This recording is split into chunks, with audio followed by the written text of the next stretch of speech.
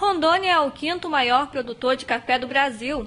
O estado tem experimentado uma nova fase da cafeicultura, com inovações tecnológicas e melhoramento genético, e tem despertado a atenção até de instituições internacionais.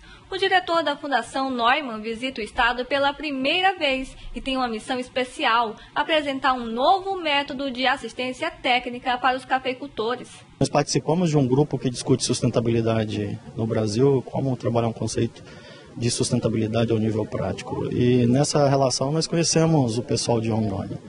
E compartilhando ideias, trocando experiências, eles conheceram o modelo de assistência técnica e nos convidaram a vir a Rondônia discutir um pouco mais, para entender um pouco mais sobre o modelo. Um dos diferenciais do novo modelo de assistência técnica é a otimização do trabalho ao permitir que um mesmo profissional possa capacitar um número maior de produtores. O grande desafio do, da assistência técnica hoje no Brasil é a capacidade de um técnico de atender um número de produtores, que é uma relação é, mais ou menos de 1 para 100. Um produtor para, consegue atender 100 produtores. Essa é a inovação do modelo de assistência técnica coletiva que tem oportunizado a condição da Fundação atender 1 para 500. Isso gera economia para as instituições que trabalham. Na Fundação, essa economia hoje é de 2,3 milhões de reais anual.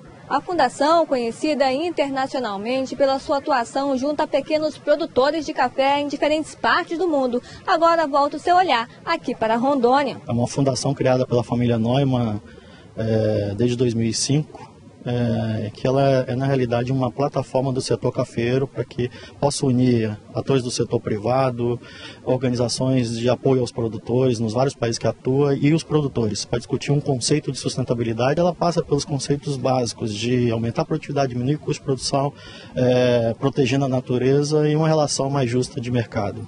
A cafeicultura de Rondônia é considerado um exemplo bem sucedido no país. Rondônia já avançou muito, é um caso de sucesso, aumentou muito a produtividade comparado às médias que se tinha antes, e isso é fruto apenas de um, de um esforço.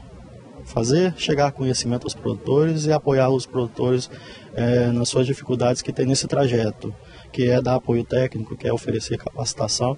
E isso atrás de um conceito de sustentabilidade que hoje Rondônia, é, assim como outros estados, tem almejado, que é produzir mais com menos agressão ao meio ambiente.